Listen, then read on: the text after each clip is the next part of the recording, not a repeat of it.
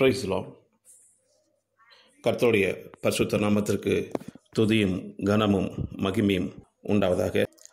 நாம் கடந்த சில தினங்களுக்கு முன்பதாக பலிகளை பற்றி அதாவது பழையற்பட்டு காலத்தில் செலுத்தப்பட்ட வந்த செலுத்தப்பட்டு வந்த பலிகளை பற்றி சில காரியங்களை பார்த்தோம். ஆனால் அப்பொழுது ரெக்கார்டிங் பண்ணுவதில் சில குளறுபடிகள் ஏற்பட்டபடியினாலே அதோடைய வாய்ஸை எல்லாராலையும் கேட்க முடியவில்லை. அதனால் அந்த சப்ஜெக்டையே நாம் திரும்பவும் ஒரு முறை சுருக்கமாக பார்ப்போம்.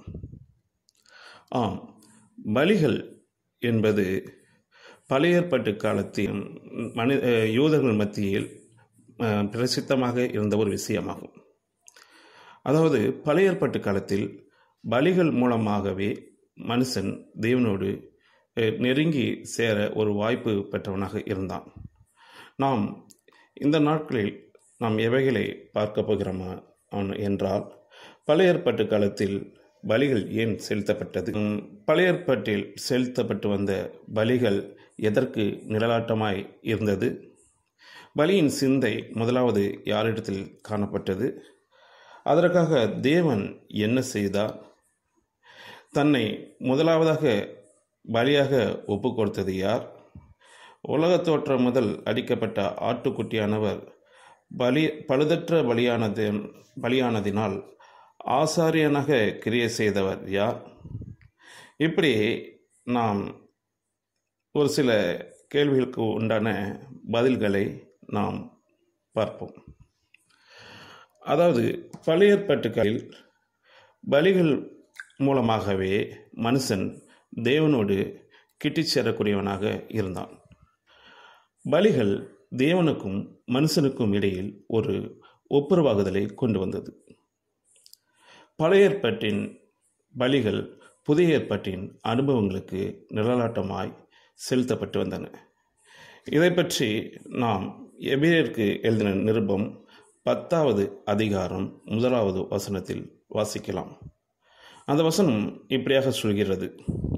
இப்படி இருக்க நியாயப்பிரமானது வரப்போகிற நன்மைகளின் பொருளாயிராமல் அவைகளின் நிழலாய் மாத்திரம் இருக்கிறபடியால் வருஷந்தோறும் இடைவிடாமல் செலுத்தப்பட்டு வருகிற ஒரே வித பலிகளினாலே அவைகளை செலுத்த வருகிறவர்களை ஒரு காலம் பூர்ணப்படுத்த மாட்டாது இந்த வசனத்தின் முதல் பகுதி இப்படியாக சொல்கிறது. நியாயப்பிரமானது பிரமாணமானது வரப்போகிற நன்மைகளின் பொருளாயிராமல் அவைகளின் நிழலாய் மாத்திரம் இருக்கிறபடியால் ஆம். அதாவது பழைய ஏற்பாட்டின் வழிகள் புதிய ஏற்பாட்டின் அனுபவத்திற்கு அதாவது அதன் அனுபவங்களுக்கு நிழலாட்டமாக மாத்திரம் செயல்பட்டு செலுத்தப்பட்டு செலுத்தப்பட்டு வந்தது என்று நாம் இந்த வசனத்தில் அறிகிறோம். ஆம். பலியின் சிந்தனையானது முதலாவது தேவனிலேயே காணப்பட்டது. இதற்காகவே அவர் திரித்துவ தேவனாக தம்மை வெளிப்படுத்தினார். உலகத் தோற்றம் முதல் அடிக்கப்பட்ட ஆட்டுக்குட்டியான அவர் நித்திய ஆவியினாலே தம்மை தாமே பலதற்ற பலியாக தேவனுக்கு ஒப்பு கொடுத்தார் பிரைஸ்லாம் கர்த்தோடைய பரிசுத்த நாமத்திற்கு துதியும் கனமும் மகிமையும் உண்டாவதாக. அதாவது எபிரியருக்கு எழுதின நிருபம் ஒன்பதாவது அதிகாரம் பதினாலாவது வசனம் இப்படியாக சொல்கிறது. நித்திய ஆவியினாலே தம்மை தாமே பலுதற்ற பலியாக தேவனுக்கு ஒப்பு கொடுத்த கிறிஸ்துவனுடைய இரத்தம் ஊழியம் செய்வதற்கு உங்கள் மனசாட்சியை செத்த கிரிகளர சுத்திகரிப்பது எவ்வளவு நிச்சயம்? ஆம். நித்திய ஆவியினாலே அதாவது பசுத்தாவினாலே.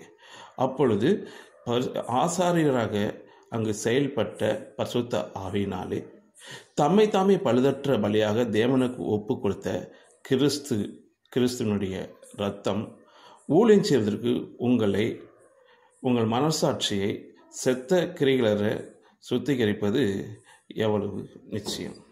பிரைஸ்லா கர்த்தருடைய பரிசுத்த நாமத்திற்கு துதியும் கனமும் மகிமையும் உண்டாதாக நித்தியாவினாலே தம்மை தாமே பலிதற்ற பலியாக தேவனுக்கு ஒப்பு கொடுத்த கிறிஸ்துவனுடைய ரத்தம் ஜீவனுள்ள தேவனுக்கு ஊழியம் செய்வதற்கு உங்கள் மனசாட்சியை செதக்கிரிகள சுத்திகரிப்பது எவ்வளோ நிச்சயம்? ஆம். தேவன் தாம் ஆபிரகாமுடன் பண்ணின உடன்படிக்கையின் படியே வாக்குத்தத்தம் பண்ணப்பட்ட தேசத்தை அவனுடைய சந்ததிக்கு கொடுக்க அவர் சித்தமானார். ஆனால் அவர்களோ எகிப்து தேசத்திலே அடிமைகளாக இருந்தார்கள். அவர்களை மீட்டுக்கொள்ளும்படியாக ஒரு பலி அப்பொழுது அவசியமானது. இதற்காக தேவன் அவர்களுக்கு பஸ்கா ஆட்டுக்குட்டியை பற்றிய பிரமாணத்தை கொடுத்தார். இந்த பலியினால் இஸ்ரேலர் எகிப்திலிருந்து மீட்டுக்கொள்ளப்பட்டனர் யாத்ராம புத்தகம் மூன்றாவது அதிகாரம் ஏழாவது வசனம் இப்படியாக சொல்கிறது. அப்பொழுது கர்த்தர் எகிப்தில் இருக்கிற என் சனத்தின் உபத்திரவத்தை பார்க்கவே பார்த்து ஆலோட்டிகள் நிமித்தம் அவர்கள் இடுகிற கூக்குரலை கேட்டேன். அவர்கள் படுகிற வேதனைகளையும் அறிந்திருக்கிறேன். மேலும் எட்டாவது வசனம் இப்படியாக சொல்கிறது. அவர்களை எகிப்தியரின் கைக்கு விடுதலையாக்கவும் அவர்களை அந்த தேசத்திலிருந்து நீக்கி கானானியரும் ஏத்தியரும் எமோரியரும் பெரிசியரும் ஏவியரும் எபூசியருமான இருக்கிற இடமாகிய பாலும் தேனும் ஓடுகிற நலமும் விசாலமான தேசத்திலே கொண்டு போய் சேர்க்கவும் இறங்கினேன். இப்படியாக அந்த யாத்ராம புத்தகம் மூன்றாவது அதிகாரம் ஏழு மற்றும் எட்டாவது வசனம் சொல்கிறது. ஆம். இப்படியாக இந்த ஜனங்கள் எகிப்து தேசத்திலிருந்து விடுதலை ஆவதற்கு இப்படி ஒரு பஸ்கா ஆட்டுக்குட்டி பலியாக கொடுக்க வேண்டியது அவசியமாக இருந்தது. தேவன் அப்படி ஒரு பலியை அவர் அந்த பலியின் பிரமாணத்தை ஏற்படுத்தி கொடுத்தார். தேவனாய கர்த்தர் ஆசரிப்பு கூடாரத்துக்குரிய பிரமாணங்களை கொடுத்த பொழுது ஆசரிப்பு கூடாரமாகிய வாசஸ்தலத்தின் வாசலுக்கு முன்பாக அதாவது வெளிப்பிரகாரத்தில் முதலாவது வெண்கல பலிப்பிடத்தை வைக்கும்படி கட்டளையிடுகிறார். இதை பற்றி நாம் யாத்ராம புத்தகம் நாற்பதாவது அதிகாரம் ஆறாவது வசனத்தில் வாசிக்கலாம். பின்பு தகன பலிபீடத்தை ஆசரிப்பு கூடாரமாகிய வாசஸ்தலத்தின் வாசலுக்கு முன்பாக வைத்து இப்படியாக நாம் இந்த வசனத்தை வாசிக்கிறோம். இப்படியாக இது இந்த வெண்கல பலிபீடமானது வாசலுக்கு முன்பாக வைக்கப்பட்டதன் மூலமாக இந்த பலிபீடத்தின் ஊழியமே ஆசரிப்பு கூடாரத்தின் மற்றெல்லா ஊழியங்களிலும் முதன்மையானது என்பது வெளிப்படுத்தப்படுகிறது. அதாவது பலிகளின் ஊழியமே ஆசிரிப்பு கூடாரத்தின் மற்ற எல்லா ஊழியங்களிலும் முதன்மையானது என்பதை இந்த வசனம் நமக்கு உணர்த்துவதாக இருக்கிறது. பழையற்பட்டில் செலுத்தப்பட்டு வந்த பலிகள் யாவும் முதலாவதாக மனிதனை தேவனோடு ஒப்புரவாகும்படி கிறிஸ்து தம்மை தாமே பலியாக ஒப்பு கொடுத்ததற்கு நிலநாட்டமாக இருக்கிறது.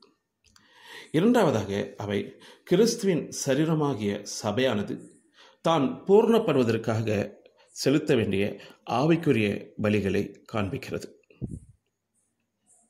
கிறிஸ்துவின் பூர்ணத்தை அடைய விரும்புகிற ஒவ்வொரு தேவப்பிள்ளையும் தன்னைத்தானே பலியாக ஒப்பு கொடுக்க வேண்டும்.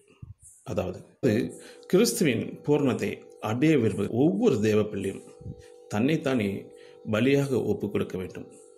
அதாவது இந்த பலிகளின் மூலம் வெளிப்படுத்தப்படும் அனுபவங்கள் அந்த மனிதர்களுக்குள் ஆவிக்குரிய பிரகாரம் நிறைவேற்றப்பட வேண்டும். பழையற்பட்டு காலத்தில் ஐந்து விதமான பெரிய பலிகளும் ஐந்து விதமான சிறிய பலிகளும் செலுத்தப்பட்டு வந்தன. அந்த ஐந்து விதமான பெரிய பலிகள் எதுவென்றால் சர்வாங்க தகன பலி போஜன பலி சமாதான பலி பாவ நிவாரண பலி குற்ற நிவாரண பலி. ஆம் அதாவது அந்த ஐந்து பெரிய பலிகள் எதுவென்றால் சர்வாங்க தகன பலி போஜன பலி சமாதான பலி பாவ நிவாரண பலி குற்ற நிவாரண பலி. இந்த ஐந்து விதமான பலிகளில் சர்வாங்க தகன பலியும் போஜன பலியும் சமாதான பலியும் அதாவது இந்த மூன்று பலிகளும் கட்டாயத்தினால் அல்ல மனப்பூர்வமாய் உற்சாகமாய் செலுத்தப்பட வேண்டிய பலிகளாகும். இந்த பலிகள் ஸ்தோத்திரத்துக்காகவும் தேவனை கனம் பண்ணுவதற்காகவும் செலுத்தப்பட வேண்டிய பலிகள் ஆகும். பாவ நிவாரண பலியும் குற்ற நிவாரண பலியும் பாவ நிவர்த்தி செய்யும்படி கட்டாயமாக செலுத்தப்பட வேண்டிய பலிகளாகும் அதாவது சர்வாங்க தகன பலியும் போஜன பலியும் சமாதான பலியும் நாம் மன உற்சாகத்துடன் மனப்பூர்வமாய் செலுத்த வேண்டிய பலியை. ஆனால் பாவ நிவாரண பலியும் குற்ற நிவாரண பலியும் கட்டாயமாக செலுத்த வேண்டிய பலி. ஆம். கர்த்துடைய பரிசுத்த நாமத்திற்கு துதியும் கனமும் மகிமையும் உண்டாவதாக. இந்த வேத புத்தகம் லேவேராகமும் ஆறாவது அதிகாரம் பதினாலு மற்றும் பதினேழாவது வசனத்தில் நாம் இப்படியாக வாசிக்கிறோம். போஜன பலியின் பிரமாணம் என்னவென்றால் ஆரோனின் குமாரர் அதை கர்த்தருடைய சந்நிதியில் பலிப்பிடத்துக்கு முன்னே படைக்க வேண்டும். பதினேழாவது வசனம் பதினேழாவது வசனம் இப்படியாக சொல்லியது. அதை பு- புளித்த மாவு உள்ளதாக பாகம் பண்ண வேண்டாம். அது எனக்கு இடப்படும் தகன பலிகளில் நான் அவர்களுக்கு கொடுத்த அவருடைய பங்கு. இது பாவ நிவாரண பலியைப் போலும் குற்ற நிவாரண பலியைப் போலும் மகா பசுத்தமானது பிரைஸ்லாம் கருத்துடைய பசுத்த நாமத்திற்கு துதியும் கனமும் மகிமையும் உண்டாவதுகள் இந்த ஐந்து பெரிய பலிகளை பற்றி நாம் பின்வரும் நாட்களில் பார்க்கலாம். இந்த மு- முதலாவதாக இருக்கிறான இந்த ஐந்து சிறிய வழிகளை பற்றி நாம் சற்று கவனிப்போம். இந்த ஐந்து சிறிய பலிகள் எதுவென்றால் அசைவாட்டும் பலி ஏறெடுத்து படைக்கும் பலி பான பலி ஸ்தோத்திர பலி உற்சாக பலி இந்த ஐந்தும் சிறிய பலி என்று அழைக்கப்படுகிறது. அதாவது அசைவாட்டும் பலி ஏறெடுத்து படைக்கும் பலி பான பலி ஸ்தோத்திர பலி உற்சாக பலி இந்த அசைவாட்டு பலியை பற்றி லேபராகமும் எட்டாவது அதிகாரம் இருபத்தொன்பது வசனத்தில் நாம் வாசிக்கலாம் பின்பு மோசே மார்கண்டத்தை எடுத்து அதை கர்த்தருடைய சந்நிதியில் அசைவாட்டும் பலியாக அசைவாட்டினான் கர்த்தர் மோசேக்கு கட்டளிட்டபடியே பிரதிஷ்டையின் ஆட்டுக்கடாவிலே அது மோசேயின் பங்காயிற்று. அதாவது மோசே மார்கண்டத்தை எடுத்து அதை கர்த்தருடைய சந்நிதியில் அசைவாட்டும் வழியாக அசைவாட்டினான் இந்த காரியமானது இந்த பலியானது பசுத்தவான்கள் அதாவது தேவனுடைய மனிதர்கள் தேவனுடைய ஊழியர்கள் மனித வர்க்கத்தின் ரட்சிப்புக்காக தங்களை தாங்களே ஒப்பு கொடுப்பதை காட்டுகிறது. இந்த ஏறெடுத்து பலிகளை ஏறெடுத்து படைக்கும் பலிகளை பற்றி நாம் லேபராகமும் ஏழாவது அதிகாரம் பதினாலாவது பதினாலாவது வசனத்தில் நாம் பார்க்கலாம் அந்த பதினாலாவது வசனம் இப்படியாக சொல்கிறது. அந்த படைப்பு முழுவதிலும் வகைக்கு ஒவ்வொன்றை எடுத்து கர்த்தருக்கு ஏறெடுத்து படைக்கும் பலியாக செலுத்துவானாக. அது சமாதான பலியின் இரத்தத்தை தெளித்த ஆசாரனுடையதாகும். பிரைஸ்லாம்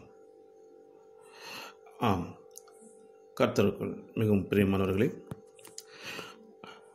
ஏறெடுத்து படைக்கும் பலியானது பரிசுத்தவான்கள் தங்களை கர்த்தருக்கென்று ஒப்பு கொடுப்பதை காட்டுகிறது.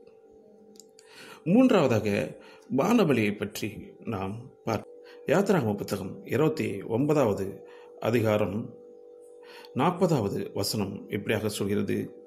ஒரு மரக்காலிலே பத்தில் ஒரு பங்கானதும் இடித்து பிழிந்து கார்படி எண்ணெயிலே பிசைந்ததுமாகிய மெல்லிய மாவையும் பானபலியாக கால்படி திராட்சை ரசத்தையும் ஒரு ஆட்டுக்குட்டியுடனே ஆட்டுக்குட்டியுடனே படைப்பாயாக. பிரைஸ்லா இப்படியாக இந்த பானபலியை பற்றி இந்த வசனம் சொல்கிறது. இது பரிசுத்தவான்கள் ஊழியத்தில் தங்கள் ஜீவனை ஊற்றுவதை காட்டுகிறது. பிலிப்பியருக்கு எழுதின நிருபம் இரண்டாவது அதிகாரம் பதினேழாவது வசனத்தில் பவுல் இப்படியாக சொல்கிறார் மேலும் உங்கள் விசுவாசமாகிய பலியின் மேலும் ஊழியத்தின் மேலும் நான் வார்க்கப்பட்டு போனாலும் நான் மகிழ்ந்து உங்கள் அனைவரோடும் கூட சந்தோஷப்படுவேன். பிரைஸ்லா மேலும் அவர் ரெண்டு தீமதி நாலு ஆறில் இப்படியாக சொல்கிறார் ஏனென்றால் நான் இப்பொழுது பானபலியாக வார்க்கப்பட்டு போகிறேன். நான் தேகத்தை விட்டு பிரியும் காலம் வந்தது. நல்ல போராட்டத்தை போராடினேன். ஓட்டத்தை முடித்தேன் விசுவாசத்தை காத்துக்கொண்டேன். இது முதல் நீதியின் கிரீடம் எனக்காக வைக்கப்பட்டிருக்கிறது. நீதியுள்ள நியாயாதிபதியாக கர்த்தர் அந்நாளிலே அதை எனக்கு தந்தள்ளுவார் எனக்கு மாத்திரமல்ல அவர் பிரசன்னமாகுதலை விரும்பும் யாவருக்கும் அதை தந்தள்ளுவார் பிரைஸ்லான் கிறிஸ்துக்கள் மிகவும் பிரியமுறைகளே இப்படியாக ப- பசு பசுத்தவான்கள் தேவனுடைய ஊழியர்கள் தேவனுடைய பிள்ளைகள் ஊழியத்தில் தங்கள் ஜீவனை ஊற்ற வேண்டும் என்று தேவன் விரும்புகிற விரும்புகிறார். இப்படியாக பானபலியாக தங்களுடைய ஜீவனை ஊழியத்தில் ஊற்றுகிற தேவனுடைய பிள்ளைகளுக்கு தேவனுடைய மனுஷர்களுக்கு தேவன் நீதியின் கிரீடத்தை தருப்பிப்பார் என்று நாம் வேதத்தில் வாசிக்கிறோம். அடுத்தபடியாக நாம் ஸ்தோத்திர பலியை பற்றி நாம் பார்ப்போம். லேவராகம புத்தகம் இருபத்தி ரெண்டாவது அதிகாரம் இருபத்தி ஒன்பதாவது வசனம் இப்படியாக சொல்கிறது. கர்த்தருக்கு ஸ்தோத்திர பலி செலுத்துவீர்களானால் மனப்பூர்வமாய் மனப்பூர்வமாக அதை செலுத்துவீர்களாக. ஆம். இந்த பலியானது இந்த ஸ்தோத்திர பலியானது பரிசுத்தவான்கள் தேவன் செய்த எல்லா நன்மைகளையும் நினைத்து நன்றியுள்ள இதயத்தோடு ஜீவிப்பதை காட்டுகிறது. ம். அதாவது எபிரேயருக்கு எழுதின நிருபம் பதிமூணாவது அதிகாரம் பதினைந்தாவது வசனம் இப்படியாக சொல்கிறது ஆகியோட நாமத்தை துதிக்கும் உதடுகளின் கனியாகிய ஸ்தோத்திர பலியை அவர் மூலமாக எப்போதும் தேவனுக்கு செலுத்த கடவும். அன்றியும் நன்மை செய்யவும் தானம் தர்மம் பண்ணவும் மறவாதிருங்கள். இப்படிப்பட்ட பலிகளினாலே தேவன் பிரியமாக இருக்கிறார். பிரைஸ்லா ஆம். அதாவது நாம் எப்பொழுதும் ஸ்தோத்திர பலிகளை செலுத்துவதற்கு நாம் ஆயத்தமுள்ளவர்களாக இருக்க வேண்டும். ஆம். தேவன் நமக்கு செய்த எல்லா நன்மைகளையும் நான் நினைத்து நன்றியுள்ளதோடு நாம் தேவனுக்கு ஸ்தோத்திரம் செலுத்த வேண்டும். அடுத்தபடியாக உற்சாக பலி. இந்த உற்சாக பலியை பற்றி லேவராகமும் ஏழாவது அதிகாரம் பதினாறாவது வசனத்தில் நாம் வாசிக்கலாம். அவன் செலுத்தும் பலி பொருத்தனையாவது உற்சாக பலியையாவது இருக்குமானால் அவன் செலுத்தும் பலி பொருத்தனையாவது உற்சாக பலியாவது இருக்குமானால் அது செலுத்தப்படும் நாளிலும் அதில் மீதியானது மறுநாளிலும் புசிக்கப்படலாம். பிரைஸ்லாம் ஆ இந்த உற்சாக பலி. இந்த உற்சாக பலி தேவச்சனங்கள் தங்கள் மனதில் நியமித்தபடியே கர்த்தருக்கு மனப்பூர்வமாய் காணிக்கைகளை செலுத்துவதை காண்பிக்கிறது. ஒன்று ரெண்டு குருந்தியர் ஒன்பதாவது அதிகாரம் ஏழாவது வசனம் இப்படியாக சொல்கிறது. அவனவன் விசனமாயும் அல்ல கட்டாயமாயும் அல்ல தன் மனதில் நியமித்தபடி கொடுக்க கடவன். உற்சாகமாய் கொடுக்கிற இடத்தில் தேவன் பிரியமாயிருக்கிறார். ஆ. நாம் கர்த்தருக்கு நாம் எதை செய்தாலும் மனப்பூர்வமாக உற்சாகமாக கட்டாயமின்றி விசனமின்றி செலுத்த வேண்டும் தேவனுக்கு செய்ய வேண்டும் என்று வேதம் நம்மிடத்தில் எதிர்பார்க்கிறது. ஆம். இரண்டாம் குழந்தையர் உம், ஒன்பதாவது அதிகாரம் ஆறு முதல் பன்னிரண்டு வசனங்கள் வரை நான் வாசிக்கிறேன். பின்னும் நான் சொல்லுகிறது என்னவெனில் சிறுக விதைக்கிறவன் சிறுக அறுப்பான் பெருக விதைக்கிறவன் பெருக அறுப்பான் அவனவன் விசனமாயும் அல்ல கட்டாயமாயும் அல்ல தன் மனதில் நியமித்தபடி கொடுக்க கடவன். உற்சாகமாய் கொடுக்கிற இடத்தில் தேவன் பிரியமாயிருக்கிறார். மேலும் நீங்கள் எல்லாவற்றிலும் எப்பொழுதும் சம்பூர்ணமுடையவர்களாயும் சகலவித நற்கரைகளிலும் பெருகுகிறவர்களாயும் இருக்கும்படியாக தேவன் உங்களிடத்தில் சகலவித கிருபையையும் பெருகச் செய்ய வல்லவராயிருக்கிறார். வாரி இறைத்தான் ஏழைகளுக்கு கொடுத்தான் அவனுடைய நீதி என்றென்றைக்கும் நிற்கும் என்று எழுதியிருக்கிறபடியாகும். விதைக்கிறவனுக்கு விதையையும் புசிக்கிறவனுக்கு ஆகாரத்தையும் அளிக்கிற உங்களுக்கு அளிக்கிற உங்களுக்கு விதையை அளித்து அதை பெருக பண்ணி உங்கள் நீதியின் விளைச்சலை உங்கள் நீதியின் விளைச்சலை வர்த்திக்கச் செய்வார் தேவன் எங்களால் ஸ்தோத்திரம் உண்டாவதற்கு ஏதுவாக இருக்கும் மிகுந்த உதார குணத்தினாலே நீங்கள் எவ்விதத்திலும் சம்பூர்ணமாக உள்ளவர்களாகவீர்கள். இந்த தர்ம சகாயமாகிய பணிவிடை பசுத்தவான்களுடைய குறைவுகளை நீக்குகிறதும் அல்லாமல் அநேகர் தேவனை ஸ்தோத்தரிப்பதினாலே சம்பூர்ண பலனுண்டாகும் பலனுள்ளதாகவும் இருக்கும். பிரைஸ்லாம் கிறிஸ்தோக்கள் மிகவும் பிரியமானவர்களே நாம் இம்மட்டும் பழையற்பட்டு காலத்தில் பலிகள் ஏன் செலுத்தப்பட்டன என பார்த்தோம். பழையற்பட்டு காலத்தில் செலுத்தப்பட்டு வந்த பலிகள் எதற்கு நிழலாட்டமாக இருந்தது என்று நாம் பார்த்தோம். பலியின் சிந்தை முதலாவது யாரிடத்தில் இருந்தது என்றும் பார்த்தோம். அதற்காக தேவன் என்ன செய்தார் என்றும் பார்த்தோம். ஆம். நித்தியாவினாலே தம்மை தாமே பழுதற்ற பலியாக தேவனுக்கு ஒப்பு கொடுத்த கிறிஸ்துவனுடைய ரத்தம் ஜீவனுள்ள தேவனுக்கு ஊழியம் செய்வதற்கு உங்கள் மனசாட்சியை செத்த கிரிகளற சுத்திகரிப்பது எவ்வளவு நிச்சயம். ஆகையால் அவருடைய நாமத்தை துதிக்கும் உதடுகளின் கனியாகிய ஸ்தோத்திர பலியை அவர் மூலமாய் எப்போதும் தேவனுக்கு செலுத்த கடவும் கர்த்ததாமே உங்கள் யாவரையும் ஆசிர்வதிப்பாராக. ஆமீன் ஆமீன். பிரைஸ்லாம்